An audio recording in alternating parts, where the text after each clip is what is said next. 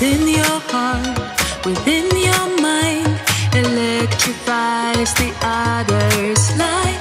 Let's share this light, let's make it bright, amaze the mind of others.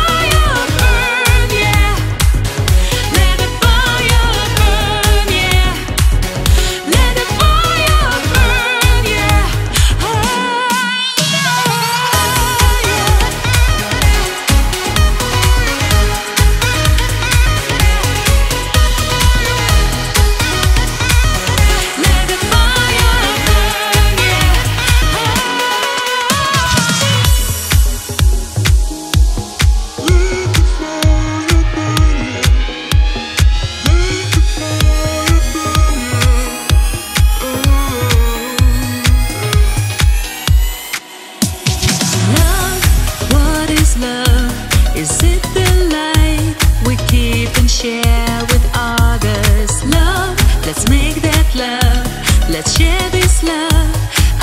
The mind of others. Let them see